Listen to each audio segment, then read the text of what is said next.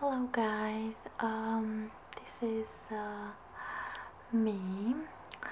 Uh, I wanted to do this video to show you uh, my attempt in doing some uh, rock river pendants. Um, this is my first time doing this. I actually managed to ruin my nail uh, nail file to do these kind of holes but let me take it step by step. This one I like quite a lot. Um, I didn't do anything to alter the shape. I only used glitter and epoxy to do this this thing on top of it uh, I really love it. Here I used some um, silver pigment. Um, I like the shape of it. It's actually pretty heavy. I don't know if people would actually wear that.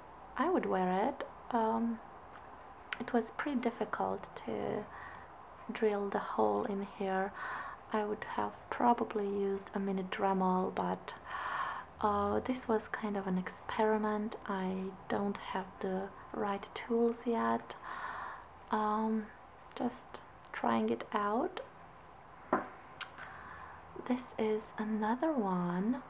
Mm, here I glued with epoxy.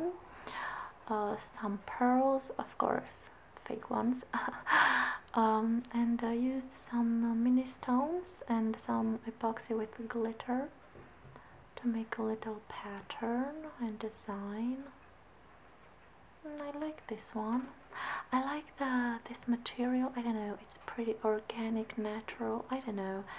I love the idea of a pendant made from natural materials from stuff you can find in the woods in the forest.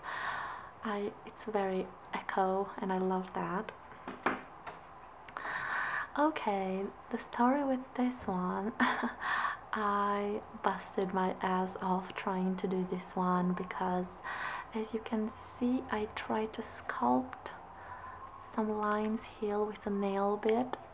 Um, it wasn't easy you see but I love it.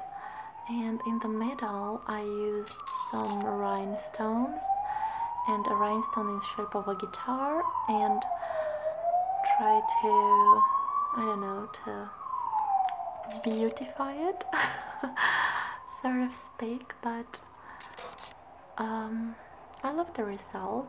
It's pretty natural. I glued something like this. Um, I would see myself wearing this. Would you wear something like that? Um, I'm curious about your feedback. Let me know if you'd like to see my attempts in trying to do this kind of jewelry.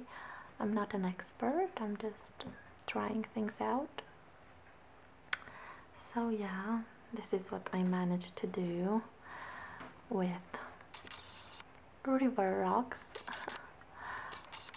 Practically it's pretty simple if you have a little bit of creativity which I do.